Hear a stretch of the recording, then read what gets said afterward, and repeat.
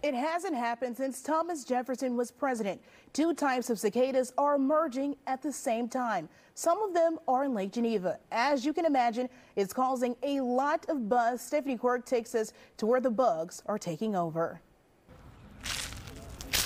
It might sound like leaves crunching under your feet, but it's definitely not. Loaded with them, piles and piles. It's these guys and their shells. Last time I saw it was as a kid, and it wasn't even nearly this many. For the first time since 1803, two types of cicadas are emerging at the same time. Some of them are surfacing in Lake Geneva. Everyone's going nuts over them on Facebook. Where can I come see them? Where can I find them? What to look for? At Seminary Park, they're almost impossible to miss. You don't see it every day. Even if you're not a bug person, I mean, it's still cool to come up and watch them. People aren't just coming out to look at the bugs. I've heard of the brandy old fashioned, and then they'll put them in there and drink it and eat it. And I won't do that. In fact, Visit Lake Geneva is even hosting a Cicada Palooza event in June, brewing up beers with the bugs. But I've seen squirrels eating them, uh, and uh, the birds are going nuts.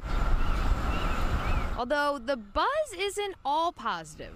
I have heard some of it, and they say they just don't want to deal with it and they wish they were all gone. The cicadas only live for four to six weeks and they're actually harmless. Oh, it's kind of cute. And whether you love them or hate them, they've made Lake Geneva their home. Then they'll turn dark and keep climbing and mate, and they'll split a tree branch and start the cycle all over again.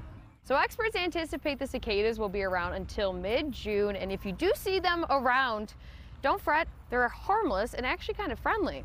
Reporting in Lake Geneva, Stephanie Cork, Fox 6 News.